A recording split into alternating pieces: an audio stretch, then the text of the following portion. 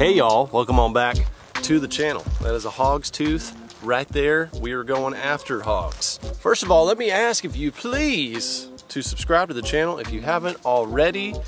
Y'all, we are getting close to that million subscriber mark, a huge landmark uh, for this channel. I've been doing this for daggum probably 10 years now on YouTube and to reach a million subs would be awesome. So please tell your tell your friends, tell your family to subscribe to the channel, give it a look, give it a sub. And also Black Friday is upon us, y'all. It is time for big time deals. Big time savings at GooganSquad.com. If you guys want to receive 20% off, I'm talking our Googan baits, uh, all of our Googan Squad stuff, 20% off we're doing for Black Friday sale. That'll be linked down below. So go check it out when the Black Friday comes around. So we're here at the lease today. I was out here doing some work and doing some scouting. I am still in search uh, for that trophy buck. And so far I've seen a few on trail cams just randomly uh, setting them out, but really a trophy out here is any 10 point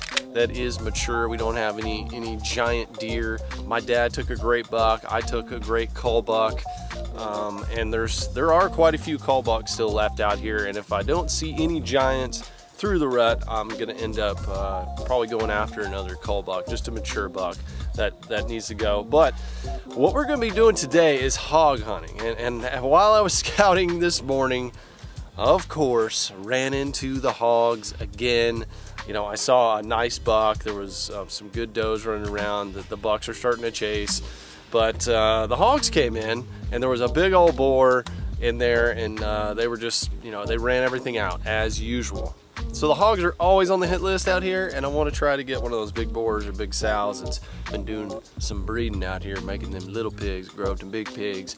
And did you guys know that the reproductive rate on a, a wild pig is just crazy. I mean, they are uh, mature breeding age, but before they were even a year old. It's like six or seven months old that they're able to start reproducing again. So it's nearly impossible to get rid of hogs, but they are fun to hunt. And, and even though they are a nuisance animal, they run off the deer, it is kind of cool that they're, they're running around and they're a fun animal to hunt. So the thing I've got in my hand right here, I've been wondering about for years. This is a Ozonics ozone emitter, and I've always thought these were kind of smoke and mirrors. Uh, I haven't I haven't believed the hype on them, so I thought I'd give it a try, and I thought I'd share the experience with y'all. We've got kind of a weird wind today. It's out of the east, and it is a bad wind for most of our our stands and blinds that we have out here. This is a good thing to break out today because it's going to be we're going to be getting odors drifting into uh, a lot of the feeder pens and uh, direction where a lot of the animals come from uh, because all the blinds and stands are set up for a predominant north wind uh, for hunting in the winter months. So I read the instructions on this thing, it's charged up. I think I know how to handle it and how it operates. And we're gonna be going to the same area that I saw those pigs in this morning where there were some bucks chasing some does and I went ahead and I set up a pop-up blind and I brushed it in really good looks nice and I think a lot of these animals are going to be coming from the downwind direction from where we're going to sit so we'll see if this comes in in handy. So we got about an hour and a half till the sun goes down so let's go ahead hop in the meat wagon head on down to the pop-up and get this thing set up get ready to go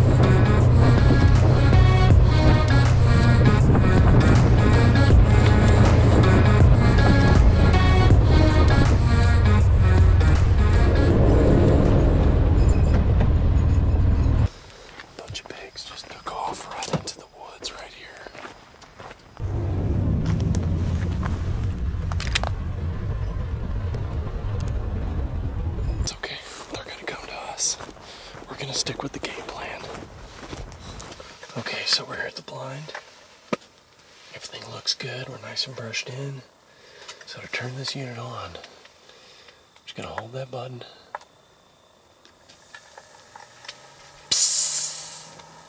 And it starts putting out ozone. So I'm gonna stick this, I'm gonna mount this on one of the bars right here and stick it outside of the blind. That's it.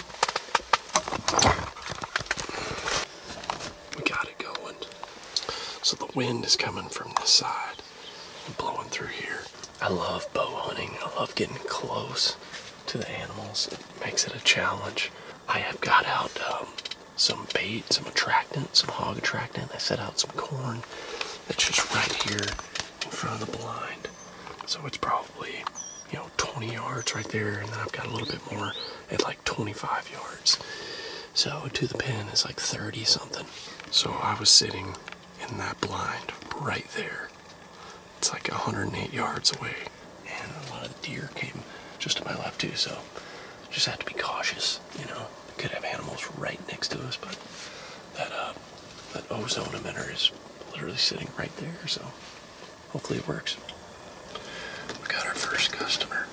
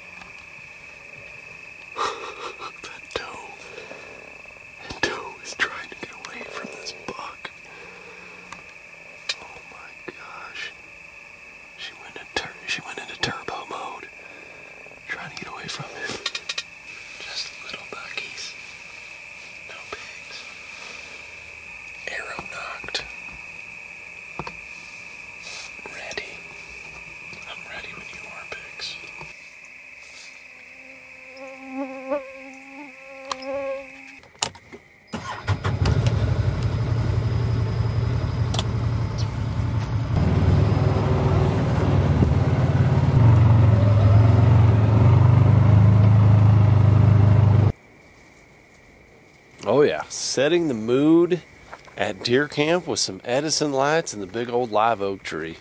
That's the latest addition here at the lease, and I gotta say it is fantastic. Come out here, we've got some picnic tables. I'm gonna eat my dinner here in just a minute. There's an armadillo, 20 feet over here. Where'd that sucker go?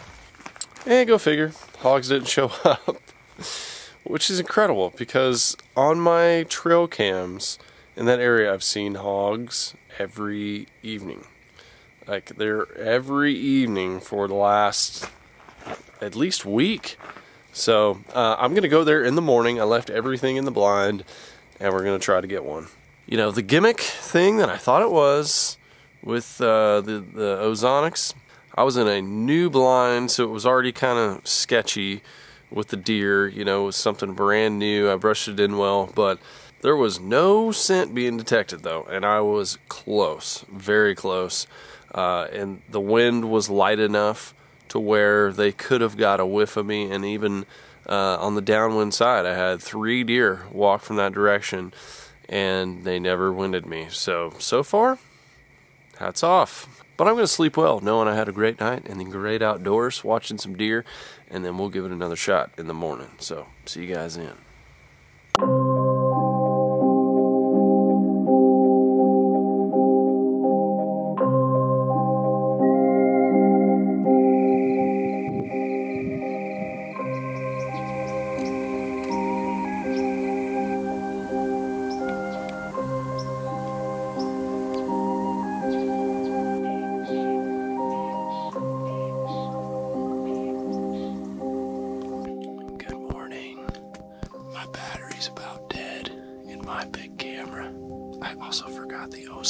So, if these deer smell me, then we're gonna know.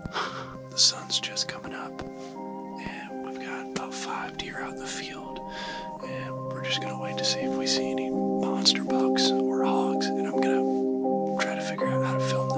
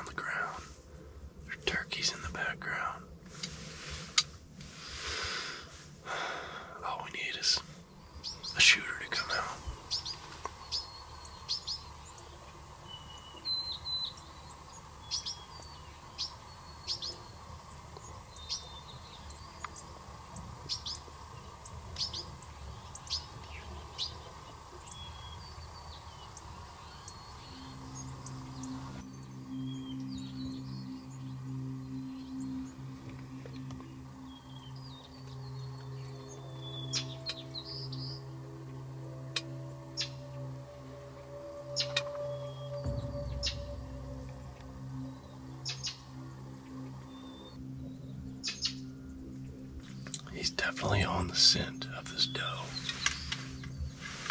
I think this is that big buck I saw here yesterday, but he looks like just a big, mature eight point, like probably four years old. I don't think he's a trophy buck, but he's a juicy one.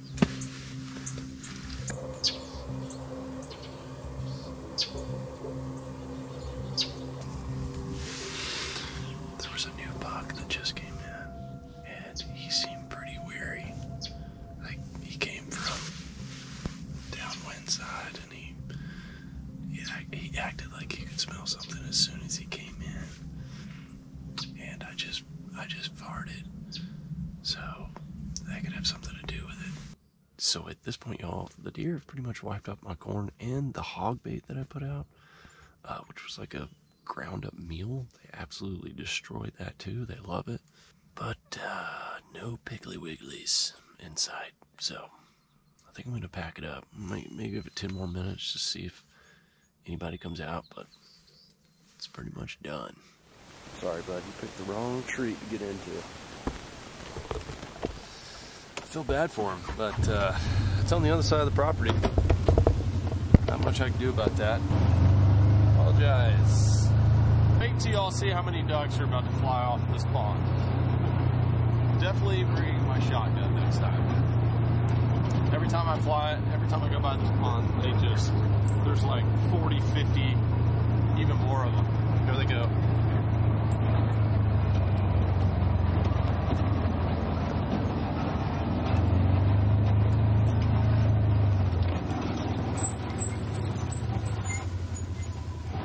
Look at that. Look at all the ducks. Look at the ducks. I saw where some of y'all commented that I should hunt these ponds out here. Uh, this is my kind of duck hunt right here. You know, just roll out of the camp, come down here, no setting out decoys. Just get them as they're coming in early. Okay, so thoughts on this Ozonics? Well, I went on two hunts, uh, two sits, the exact same blind. I did notice that the deer were more calm when I had this running. Do I still think it's hocus pocus? No, I think there's some validity to it. Um, but is it the end all be all? I don't know. I probably could have killed a pig or a deer uh, right there had I not had it. Obviously, we had deer. It's, and again, 15 yards away, same situation, but they were more weary. I could see them coming in, uh, raising their nose. Uh, I could see when they were out in front of me, they were looking in the blind a lot more. They were trying to figure out what was going on. They could definitely smell something, whereas when I did have this on, uh, they were extremely calm. So obviously it needs more testing, but I would say initially there's something to it. And for all those curious, this is the Ozonics HR230. I ordered it off Amazon and you guys can check it out for yourself. If you're hunting out of a tree or a blind, uh, and you got a kind of a weird wind situation, yeah, it might help you out. And no piggies showed up, of course. It's like every time I go hunt for them, they just go into hiding. Uh, but a lot of whitetail running around, and it's awesome to see that the bucks are getting into full rut mode. Some of the bucks had does pinned down. They were chasing them. They're really running around. This is a time of year where you just you can sit uh, and see a lot of deer, or you can walk around, try to rattle them up. Um, you know, use scents, use all those. It's it's more fun, in my opinion, um, than just the deer coming to the the corn feeders, which they really have not been coming to. The bigger bucks are just on the move, chasing tail. Thank you guys for tuning in to another episode in the great outdoors. Don't forget to subscribe here to the channel so we can reach that million subscriber mark. What will we do for the millionth subscriber video? That should be interesting leave me a comment down below. And wishing you the best of luck in all of your outdoor adventures. God bless you. I'll see you soon.